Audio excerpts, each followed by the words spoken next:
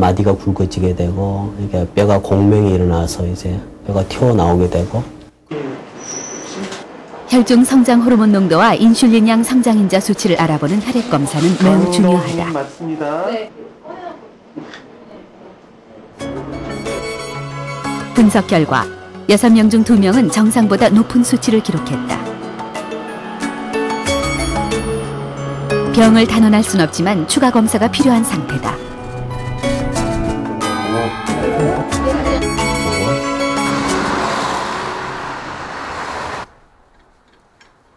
자동차 정비업을 하고 있는 김원태 씨. 2년 전 그도 말단 비대증을 알았다. 손이 커져 일반 장갑은 들어가지도 않고. 발도 두꺼워져서 등산 양말을 수선해서 신는다. 코를 좀 보려고 갔다가 당뇨 때문에 그 당뇨를 체크하다가 이제 그랬어요. 얼굴이 변하는 것은 의례 나이 탓으로 생각했던 김원태 씨. 하시거나 이런 거 없으시죠? 그렇지 만 머리 아프신 건 어떠세요? 이게 머리 아픈 건 아니고 그래요. 손발 저리신 거는? 선발 젤리. 말단 비대증 증세가 심각해진 뒤에서야 원인을 알게 됐다. 어, 이 환자의 경우에는 종양은 15년 이상 자라온 상태. 환자의 종양 크기는 3cm 이상. 종양은 시신경을 압박해 시력까지 나빠졌다.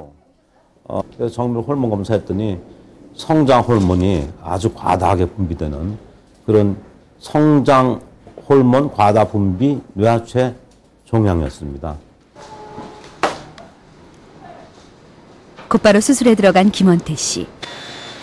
병이 서서히 진행되는 말단 비대증의 특성상 환자의 85%는 1cm 이상의 거대 종양의 상태에서 수술을 받는다. 수술은 코 밑을 열고 저평동까지 접근한 다음 뇌 속 종양을 떼어내게 된다. 문제는 종양이 너무 크다는 것. 작을 때 발견되면 완치도 가능하다. 근데 이제 종양 크기가 큰 경우에는 어, 주변 조직에 대한 침윤이 심하기 때문에 수술만 갖고 완치되는 율이 한 60% 정도밖에 안 되거든요. 그러니까 종양이 작을 때 어, 시술을 하면은 훨씬 수술만 갖고 완치되는 율이 높습니다.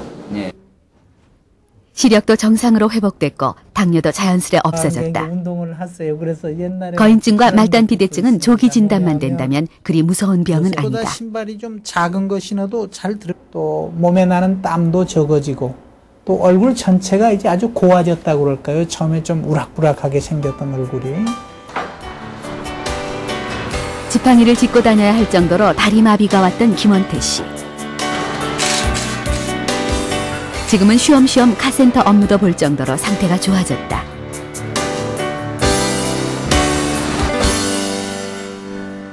아프리카 우간다의 밀림. 이곳에는 세계에서 가장 키가 작은 부족인 피그미족이 살고 있습니다. 피그미는 작다라는 의미의 불어인데요.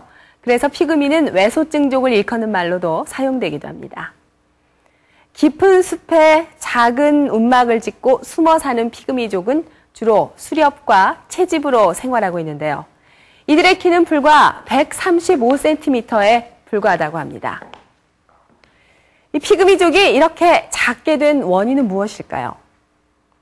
인류학자들은 인간은 적응성이 뛰어나서 주위 환경에 적응하면서 그에 따라서 이 신체도 변한다고 해석을 합니다. 이 소극적으로 먹이 사냥을 하면서 숨어 사는 피그미족 역시 영양실조와 생존에 대한 심리적 압박으로 실제 이 성장에 제약을 받고 있다고 합니다.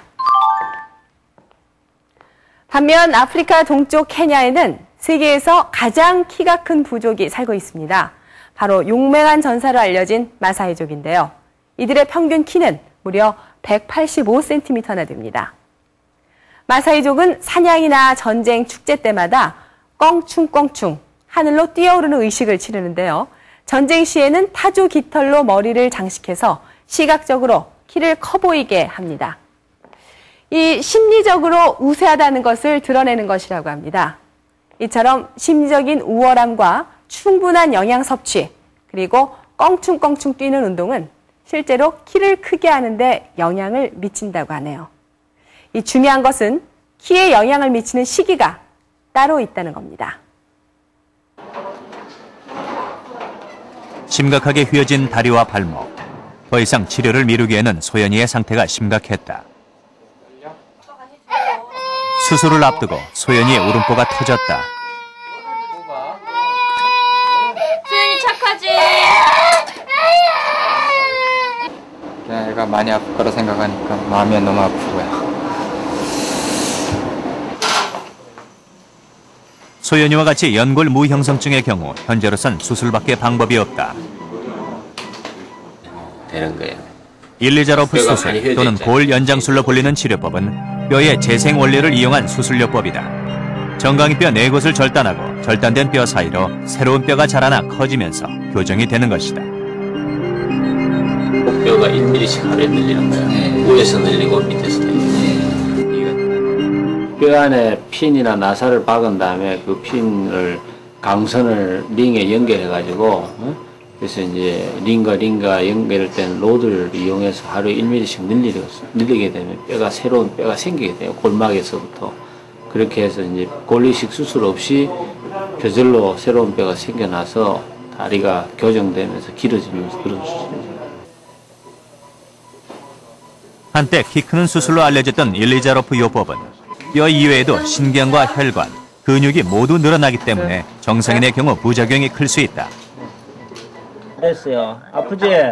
7시간에 걸친 대수술 끝에 소연이의 상태를 확인한다. 신경과 혈관, 근육 중 하나라도 손상된다면 움직일 수 없기 때문이다. 네, 그렇지. 또 발가락 올려보자, 소연아. 더 올려봐, 발목. 잘 올리지. 어? 또 올려봐. 아유, 잘 됐다, 됐다, 됐다. 키가 한130 정도 되거든요. 완전히 자랄 경우는. 그래서 이제, 어, 밑에 정강이 뼈에서 5번 기에 한 4, 5cm 교정하게 되면 늘어나게 되죠. 그리고 이제 나중에 10살 때쯤 돼서 한 번 더 늘리는 수술을 해야 될 겁니다. 한 외소증 환자의 휘어진 다리가 수술을 받은 뒤 정상인처럼 곧게 뻗은 것을 확인할 수 있다.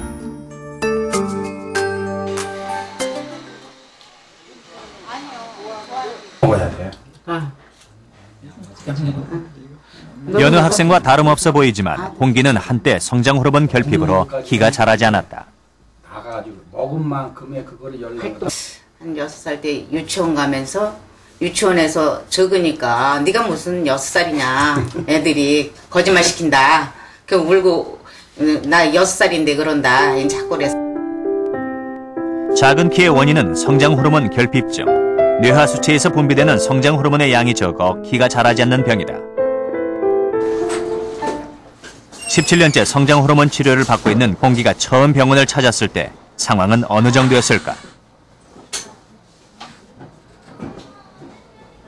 성장 호르몬이 어, 10 나노그램 퍼 밀리리터 이하가 되면은 성장 호르몬 결핍증으로 진단을 합니다. 그래서 홍기는 성장 호르몬 결핍증으로 진단을 내렸습니다.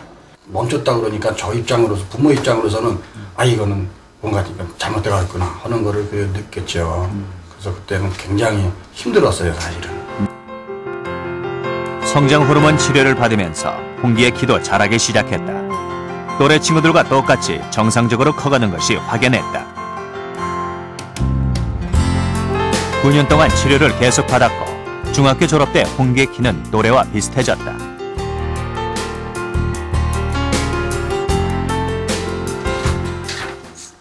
지금도 홍기의 키는 온 가족의 관심사다. 이게 잘 클 때는 1년에 막 12cm, 10cm 그렇게 클 때도 있었거든요. 힘들어. 보통 밤에 김 교수가 홍기에게 제시한 또 하나의 처방은 숙면이다. 그럼 2시 자고 깊은 잠을 충분히 자는 것은 성장 호르몬을 가장 많이 분비하는 방법이다. 우리가 깊은 잠을 잘 때 하루간 성장 호르몬의 70%가 분비되기 때문이다.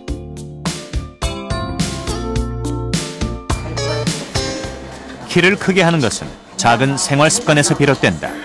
홍기는 공부 중에도 틈틈이 자리에서 일어나 스트레칭으로 몸의 근육과 뼈를 이완시켜준다.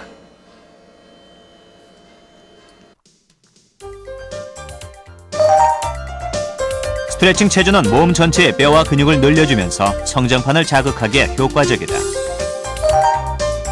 배와 허리 근육을 단련시켜주는 무릎 굽혀잡기. 엉덩이와 허리를 최대